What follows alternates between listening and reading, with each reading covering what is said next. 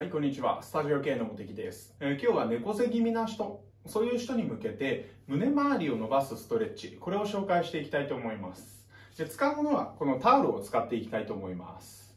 で結構あのー、今、こうパソコン使ったりとか、あとは携帯を見たりとかすると、結構こう猫背になって、で、首が前に行って、いわゆるストレートネックというやつですね。首がこう前に出ていくことによって、頭の重さをこの僧帽筋とか脊柱起立筋、この辺の筋肉でずっと常時支え続けていないといけなくなってで肩がバッキバキに凝ったり背中が凝ったりしてくる、えー、それによって頭痛までしてきちゃう場合なんかもあります。もしくは背中がビキッときちゃったり。でこうなってる人っていうのを胸筋がぎゅーっと縮こまってしまって胸が伸びないから背中が丸くなる。まあそれか、まあ、背中が丸くなってるから胸が伸びなくなる。まあどっちか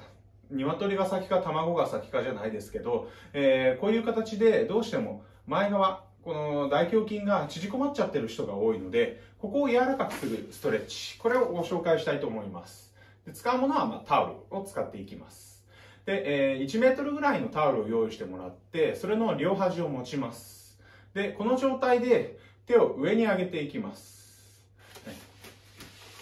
こういう感じで上に上げます。そしたらですね、天井を見に行くような感じで、顔をぐーっと上に上げて、で、この手を高く伸ばしていきます。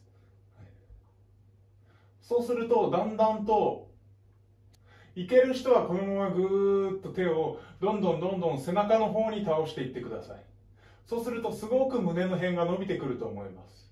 で、この状態で息をしっかり吸って、吐いていきます。もう一回吸って、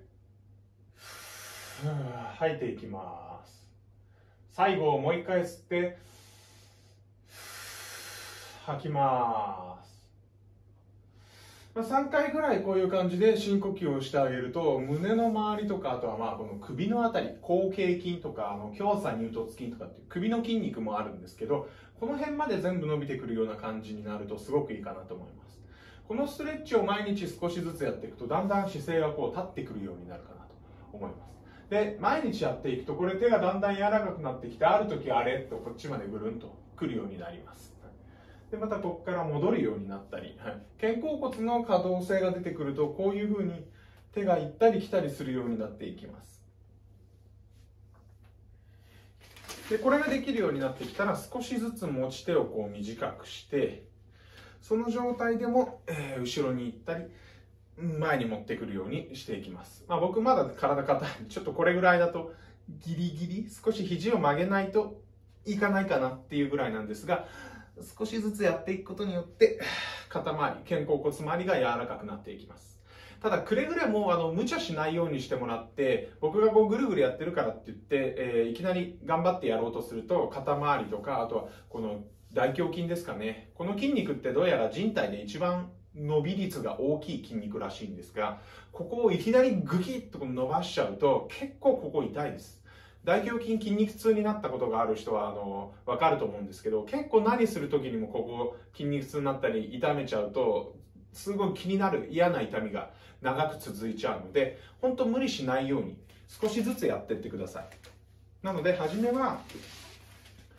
このぐらいしか上がらなくても全然大丈夫です。こんな耳の上とかこう後ろまでとかいかなくて、もうこの辺でも全然大丈夫なので、ここぐらいまで上げたらぐーっと天井を仰いで、仰ぎ見るような感じで上を見ていきます。上に伸ばしつつも、こう手を左右にも広げるような感じですね。手は上に伸ばしつつ、左右に広げていく。でもタオルがあるから、このタオルの長さ以上は外に広がらないっていう感じにしてあげると、腕のこの内側の筋というか、この辺ぐらいまでもピーンと伸びてきて、すごく腕周りも伸びてきて気持ちよくなるかなと思います。